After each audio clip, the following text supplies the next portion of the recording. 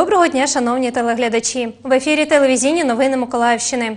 В студії працює Євгенія Голубова і до новин. У форматі «Віч-навіч» відбулась зустріч президента Петра Порошенка та прем'єр-міністра Грецької республіки Алексіса Ципраса, який перебуває в Україні з робочим візитом. Закордонний політик прийняв запрошення відвідати Україну у період, коли дві держави відзначають 25-річчя встановлення дипломатичних відносин. Греція не перестає підтримувати Україну в процесі європейської інтеграції та твердо стоїть на позиціях необхідності повного виконання мінських угод, а саме повного припинення вогню, виведення російських військ з української території та забезпечення мирного процесу. Під час зустрічі обговорювали не лише питання бойових дій на сході України.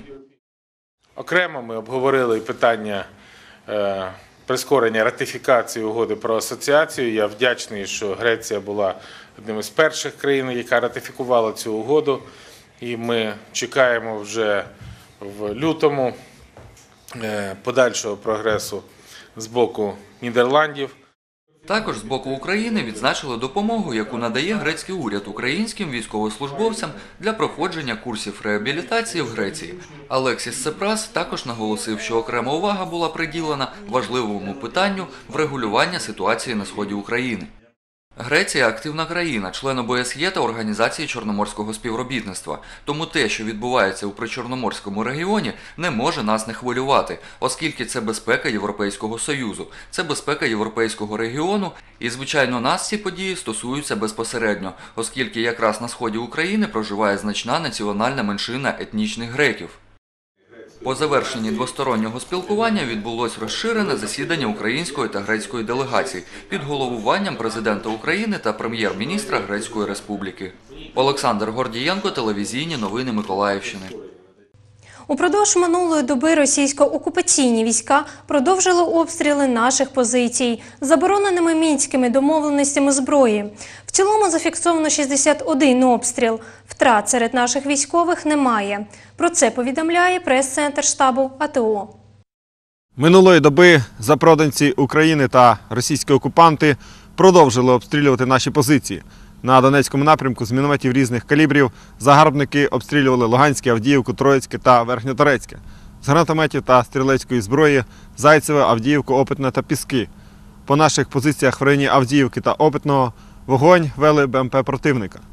На Луганському напрямку з мінометів, гранатометів та стрілецької зброї загарбники обстріляли Шарівкут, Лобачеве, Олександрівку та Новозванівку. БТР вів вогонь по Водяному. На Маріупольському напрямку з мінометів Водяне та Павлопіль. З гранатометів та стрілецької зброї Павлопіль, Новотроїцьке, Широкіне, Мар'їнку, Гнутове, Лебединське, Водяне. Наших захисників в районі Широкиного обстрілювали БМП противника. Загалом зафіксовано 61 обстріл. Втрат серед наших військових немає. На базі санаторію Перемога буде створено південний центр реабілітації для учасників АТО та їхніх сімей. Про це детальніше дивіться далі. Таку ідею запропонували самі військові та волонтери, а підтримав їх в цьому голова облдержадміністрації. У мене з'явилася ідея, щоб побудувати, підтримати ідею хлопців наших і побудувати саме південний такий реабілітаційний центр великий. Але я приїхав подивитися, по-перше, по-друге, зробив деякі висновки, тому що е, все знаходиться в занепаді. Для цього треба гроші, і для цього дійсно треба певна ідея, мета, яка дозволить нам реалізувати наші задуми. Олексій Савченко також зазначив, що залишилось підготувати документи на Міністерство соцполітики для вирішення необхідних питань, аби облдержадміністрація могла використовувати грошові ресурси на зведення реабілітаційного центру. Гроші ми знайдемо. В області грошей достатньо і підтримуємо нашим хлопцям, зробимо нормальний центр реабілітаційний і все буде нормально. Євгенія Голубова, телевізійні новини Миколаївщини. Протягом трьох днів на базі спорткомплексу 79-ї окремо десантно-штурмової бригади триває турнір з футзалу серед воїнів АТО. Вісім команд будуть боротися за звання найсильнішої команди Миколаївського гарнізону.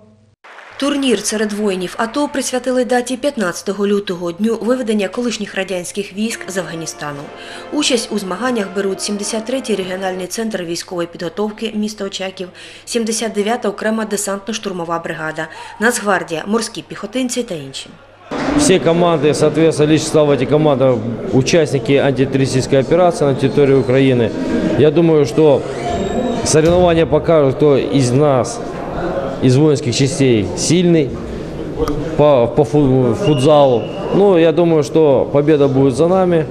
Как показал прошлый турнир, наша команда «Десант» она была лучшая. Сподіваються на перемогу і футболісти, господарі майданчика. До турніру ретельно готувались. Уровень подготовки команд мы уже знаем. Мы с ними играли на Лигу АТО по, по большому, на большое поле.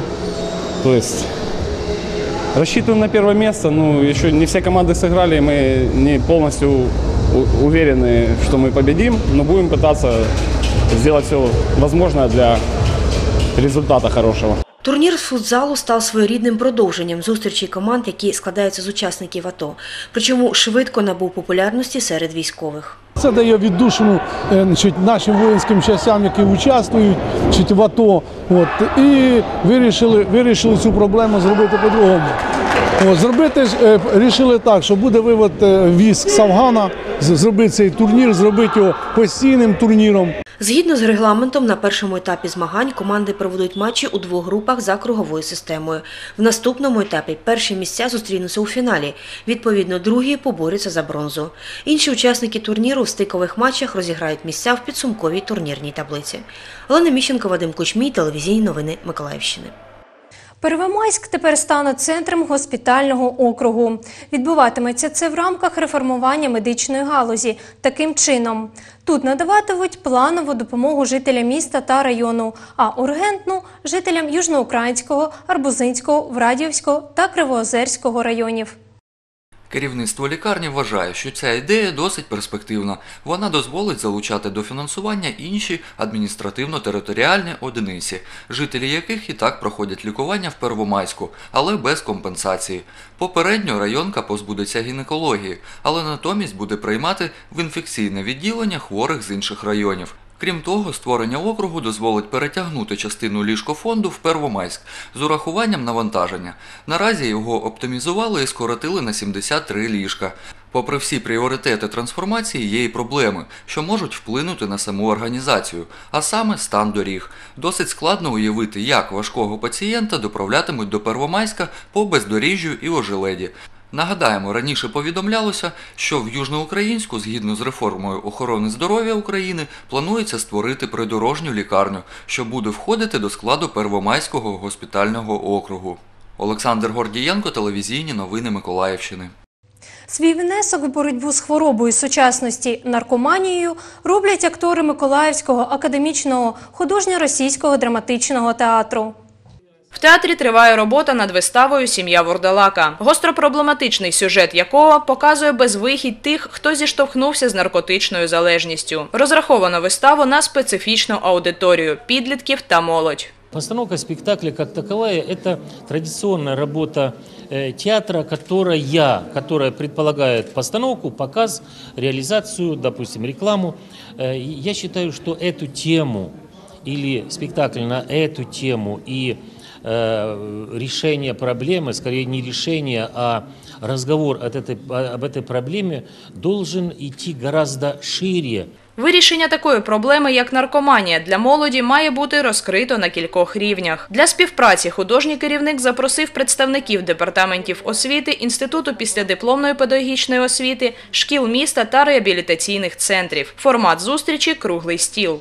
Я здесь не изобретаю колесо. Я хочу просто э, силами театра, э, силами каких-то идей, которые сейчас возникнут, просто подключиться к тем программам и к той работе, которая ведется в этом направлении. Это противодействие а распространению, употреблению наркотиков в основном молодыми ребятами и детьми.